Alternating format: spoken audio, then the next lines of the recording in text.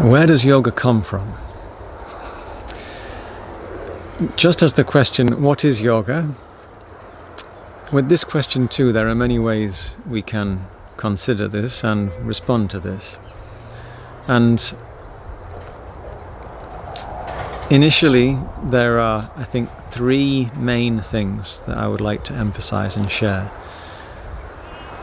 consciousness, observation, and India.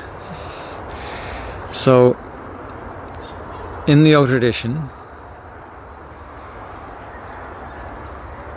one of the ways that yoga yoga's origins are explained is that Shiva,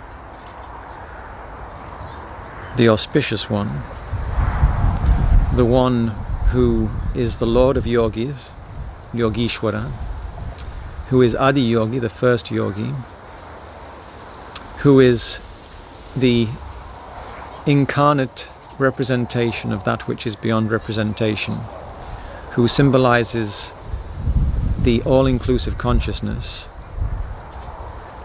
Shiva is the origin of yoga. In other words, consciousness is the origin of yoga. The idea in the Indian system is that consciousness cannot be separated from its capacity to see, feel, recognize. And consequently, one thing that conscious beings want, long for, crave, is recognition. So the idea is that once, when there is consciousness, and consciousness in its wholeness, in its oneness, even though it is completely full, would like the thrill of recognition. And so there's the idea that within itself it issues forth, it manifests, it creates the realm of existence, the universe in all its vastness. And this universe allows consciousness the thrill of the journey home to remembering and recognition and recognizing the wholeness that it really is, that we really are, because we are part of that. So, where does yoga come from? There's the idea it comes from consciousness itself. And we are only able to invite yoga or experience yoga because we are conscious beings. All yoga techniques depend on and grow from the deployment of consciousness and the reality of conscious existence. So it's the idea that union or togetherness or harmony or yoga is really this deep, innate, natural desire of consciousness when it comes into manifestation. And so we could also say that yoga is the deepest longing of the human soul that longing for connection, that longing for union, that longing to experience oneness is something that is very innate in a human being. When we come out of the womb, we want our mother's breast. When we were in the womb, we were in this deep symbiotic connection with her, with another, her heart and our heart when we were feeding her heart and our heart again were one, and this was a place of instant comfort. You can see a baby wailing, and then when they are there, that's there's this. It, it can occur that there comes this instant pacification when we feel, when the baby feels this union. Similarly, I'm in the process of making a new yoga series called the Yoga Top 40, which uses songs and song titles as platforms to speak about practical yoga philosophy. And one of the song titles that I use is Whitney Houston's I Want to Dance with Somebody. Because I do. It's a very normal human thing to want to dance with somebody, to play with somebody, to interact with somebody, to have that recognition, that mutuality. And so, in the Indian system, Shiva, representing pure consciousness, also sometimes is represented as being in union with Shakti, the goddess, who represents the manifest power of consciousness. And Shakti is sometimes referred to as the universe. She is this world of change, she is nature. And Shiva, meaning consciousness, the infinite creative potential, maybe you've heard of another word that's a little bit like Shiva in Sanskrit. Maybe you've done it at the end of one of your asana practices. You know that posture where you lie on the ground like a corpse? What's it called? Shavasana. Shava means corpse, a lifeless corpse. But Shiva means infinite creative potential. What's the difference between Shava and Shiva? The difference is that the Shava has no Shakti, but Shiva contains Shakti. You cannot separate Shiva and Shakti, really they are one, but we speak of them as two for convenience's sake. But the idea is that basically yoga is an innate drive, an innate tendency, a deep rooted desire of the human consciousness. So, where does it come from? It comes from our deep longing to return to the wholeness that is our source. So, at the microcosmic level, we've mentioned, we experience that oneness, that symbiosis in the womb. Cosmologically, it's the idea that we all come from this wholeness or this oneness, and it's our deep longing to return, to remember our innate capacity for integration so we can recover and re- re- recognize our capacity to be part of that whole. So, where does yoga come from? It comes from consciousness, and consciousness is desire for recognition. So, when we are in this limited bodily incarnation, we experience limitation, but we have consciousness, we have self reflexive awareness. We can watch ourselves, feel ourselves, notice ourselves. And so we have an inbuilt capacity to rec- recognize. And the idea in yoga is if we bring all parts of ourselves into togetherness, we can experience this dancing with somebody, this feeling of bringing all the different mutually supportive pairs of opposites into cohesion in this container, in this vehicle. So, we could say yoga comes from consciousness and is a natural inclination of the conscious being. It's the deepest longing of the human heart and soul, I would say.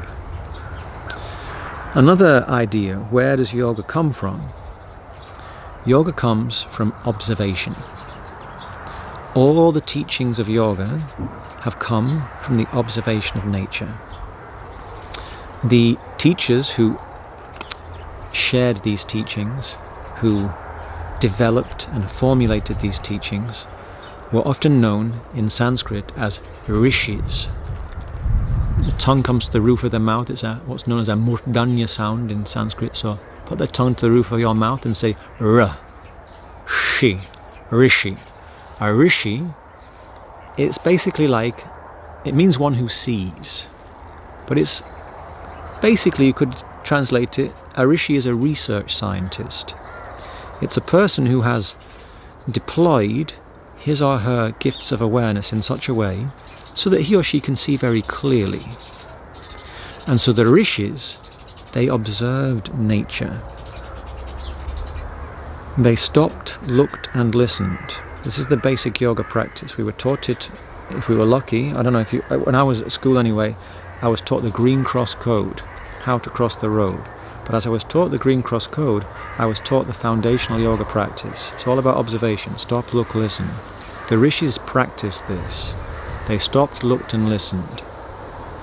Now, one teacher from India who's quite well known is Gautama the Buddha. And Buddha means the awakened one. It's from the Sanskrit root bodh. And there's the idea that he had his awakening under the Bodhi tree. Now, one Indian gentleman that I met memorably a few years ago, Satish Kumar, a conservationist, very interesting man. He, one of the beautiful stories he told the day I met him was that his mother when he was growing up in India, always told him, see, the Buddha, it wasn't that the Buddha became enlightened sitting under the tree, she said. It's because he spent time sitting under trees that he became enlightened, she said. Sitting under the tree, he communed with nature. In the sense, he observed life. William Blake said, what is it, if I remember the quote, to see the world in a grain of, to see infinity in an hour, in the world, to see the world in a grain of sand and infinity in an hour, something like that. But when you look at some part of nature closely, there's the idea it can open up and reveal so much of broader reality and existence. We are all pulsating beings. Hatha Yoga works with the reality of this pulsation. All of the yogic and tantric teachings are based on this observation of pulsating life. What is life if it's not a heartbeat or a breath cycle? So as when we stop, look and listen, we observe nature, we can start to recognize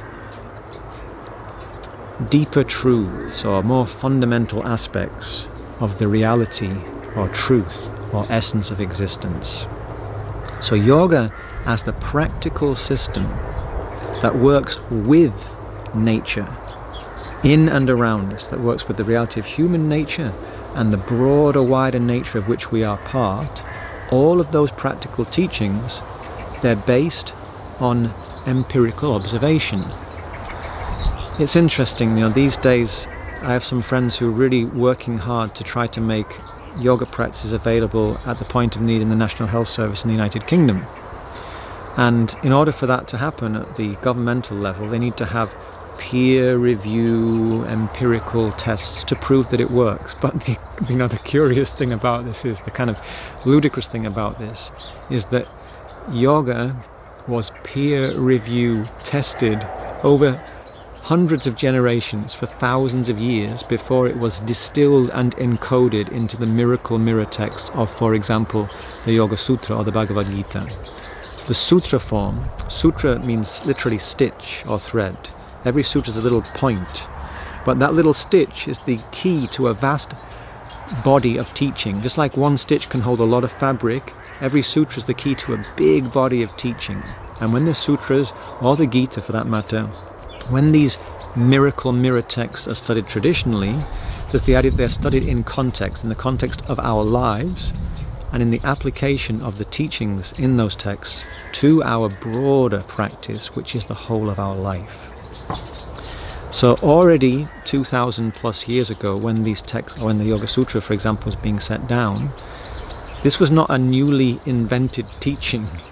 This was a teaching that had been thoroughly, thoroughly tested and then distilled into this very robust and resilient form, adaptable form, that is then presented by Patanjali in the Yoga Sutra. So, yoga comes from the observation of nature, and all the masters of the yoga tradition were rishis. They were people who stopped, looked, listened, and observed nature so keenly that their awareness was able to penetrate through to its subtler, deeper essence or its subtler, deeper truths. And this is also a foundational practice in yoga. The yoga practitioner is always encouraged to work from gross to subtle. So we've mentioned it comes from consciousness and it comes from observation, the deployment of consciousness.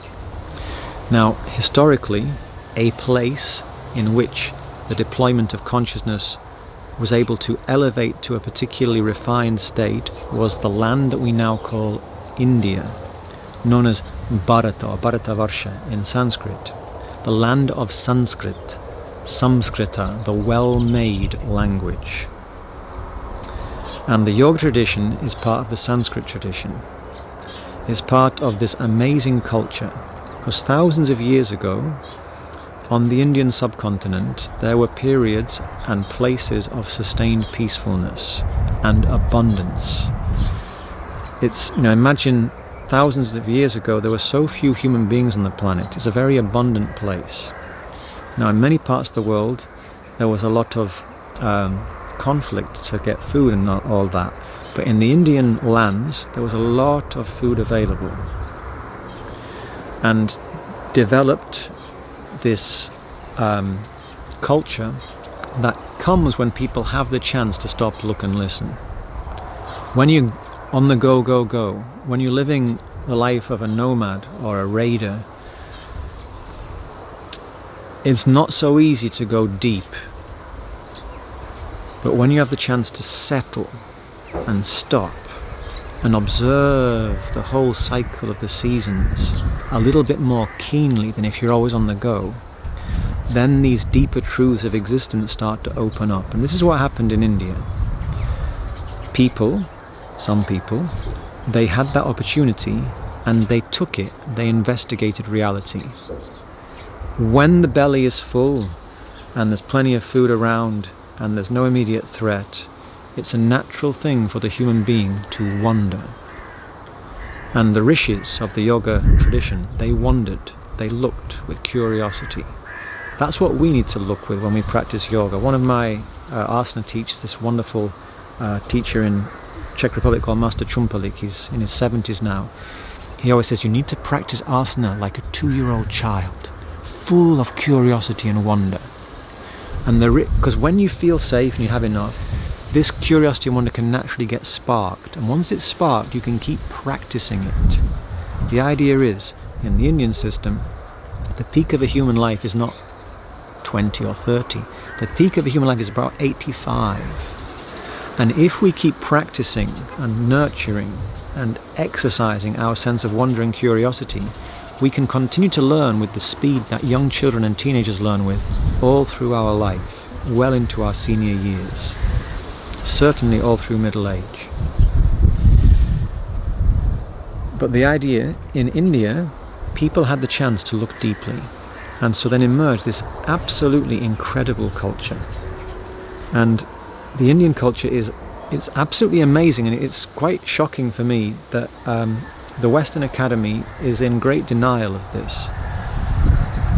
Sometimes people say that so Latin and Greek and most European languages have many words that are cognates of Sanskrit words.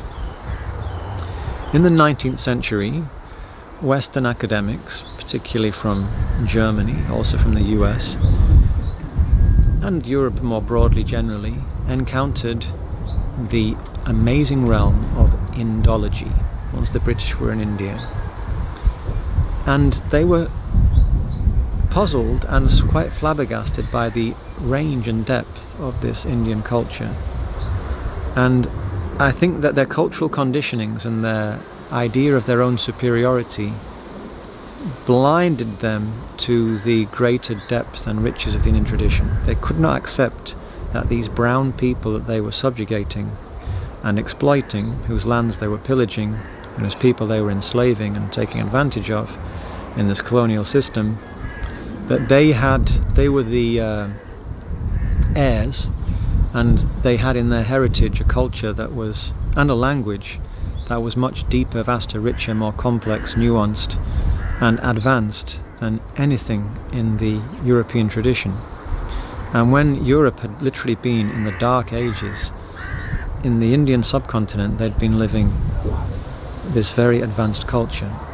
So in Sanskrit texts that date back many, many centuries and sometimes thousands of years, we have evidence of surgical procedures, we have evidence of atomic theory, we have evidence of complex mathematical theories. We have a literature that is much, much vaster than anything else that we find from any other tradition in the world. Not only that, but we have a literature that's thousands of years old. So, for example, in English, you know, well, English didn't exist a thousand years ago. How many texts exist from even 400 years ago, at the time of Shakespeare? A few, but very few. In the Sanskrit tradition, we have texts on so many spheres of knowledge. On political science, jurisprudence, governance, the science of politi- political science. We have works on aesthetics and pleasure. We have works on archery and the arts of the martial arts. We have works on health. We have works on music and architecture and sculpture and agriculture, all of these different arts and sciences so thoroughly developed thousands of years ago. And yoga is a very, very important part of this system. Because yoga, as we mentioned in the videos from the previous week, yoga is the practical school of Indian philosophy. And interestingly, any art or science can become a yoga if it is pursued as a means to self discovery. So, for example, on my most recent visit to India, I have a very dear friend who's a flute master. He makes flutes and he performs and he teaches. He's called Ravi Shankar Mishra. And this year, there was this one weekend when he was hosting a man called Lyon Leifer. And Lyon had gone to India in 1964 on a Fulbright scholarship as a very talented young flautist. And he had learnt there to play the bansuri, the Indian bamboo flute, with and he'd met the man who became his guru, Devendra Murdeshwar, one of the greatest Bansuri exponents of the last century. So I met Lyon very recently in 2020, so he's been practicing daily, diligently, lovingly for more than 50 years. And that weekend, not only did Lyon give a concert, one day he gave a workshop. And my friend Ravi said, James, you must come to the workshop. And I thought, I don't play the flute. Like, I, I don't. Why would I come to the flute workshop? He said, No, no, no, no. You, you come into the workshop. Make, make, you know, just make sure of it. So when Ravi said this to me, I thought, okay, I, I must go. It was one of the most beautiful experiences I've had in India, and that's saying a lot. But this man for 56, well, that was since he began the Indian flute, he was already a very adept at the silver flutes. Let's say 60 years he's been playing the flute every day. And in their lineage, Ravi, when he gave me my first harmonium, and he said, you know, James, if you tell my students if they're going to play the flute, the most important thing is to love the flute. And when you play, play for God, he says. Doesn't matter who's listening, whether you're playing for, by yourself, whether you're playing for people who you share your house with, your family, or whether you're playing in front of the Royal Albert Hall or wherever it might be, or you're making a recording for the All India radio, always play for God. Always play as a way of expressing your gratitude to existence for the gift of life and this opportunity to be a vehicle through which harmony and beauty can move and you can experience these things. So in their lineage they emphasize this very, you could say a devotional approach, this approach that brings a lot of presence to the playing of the instrument. And Lyon at this workshop spoke about his history with the flute, but every word he said, it was just so utterly captivating, so moving. He spoke with such humility but obvious, it was so obvious that his practice of the flute was a yoga practice. As he had entered deep into that body of knowledge, that discipline of art and music and expression, that has become a mirror for his deeper self. And so there's the idea that any discipline, any art, any craft, any science that you really orient yourself to as an offering, honoring the gifts of your consciousness by giving them a way to express themselves gracefully, beautifully, that expresses appreciation, can become a yoga. And yoga is very multi purpose, it's very inclusive. And one of the beauties of the Indian method is this inclusivity. This is one of the reasons why in the Indian system, that which we sometimes refer to as God goes by so many names.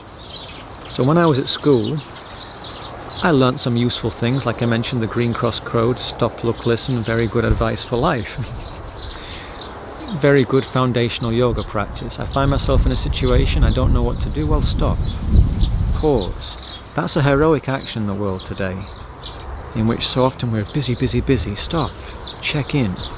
Am I really acting in the way I would like to act? Is my action the expression of my true deepest longing? Look, listen. But as well as learning some very, very useful things at school, I was also given some misleading information. One thing I was told was that Hinduism, which is the Indian religious expression, you might say, was a polytheistic religion, which is not really accurate because in the Indian system, God or the Supreme or consciousness is one, but it goes by countless names. Why? To remind us that the name is not it, the particular form is not it. So you can go to a temple dedicated to a particular representation of that which is beyond representation in India, for example, a Shiva temple. But inside that Shiva temple grounds, you may also see iconography that represents other representations of that which is beyond representation, other representations of the divine, of consciousness, of the ultimate. So yoga comes from India. It comes from the Sanskrit tradition. It comes from a practical tradition which is inclusive, which is never absolute, which acknowledges the nuance, the grey of life. And this is really important to remember. When we study yoga as people who have grown up in modern times, we have in our awareness what we might call certain veiling, certain prejudices. When we meet something, we meet it through the lenses of our accumulated ideas and conditionings. And oftentimes, we don't recognize how skewed or particular or partial our ways of looking are. One of the main practices in yoga is to practice looking in ways that reach beyond our habitual ways of looking to practice thinking in ways that reach beyond our empatterned ways of thinking. That's not easy, but the yoga system gives us robust ways to do that. And as we practice stopping, looking, listening, observing ourselves, we often invite the type of experience that helps us recognize how we are blinkered sometimes, how we do have blind spots. It's normal. We're a human being, we've got just two eyes. And consequently, there's always more that we cannot see than we can. We cannot even see all of ourselves. I can try. I can't even see all of myself. We have our blind spots. And we've all, we're all the product of our conditionings. I've met some really interesting people in India, including some people who are considered great masters, but even they they still see the world through the lens of their accumulated conditionings. So, why am I mentioning this?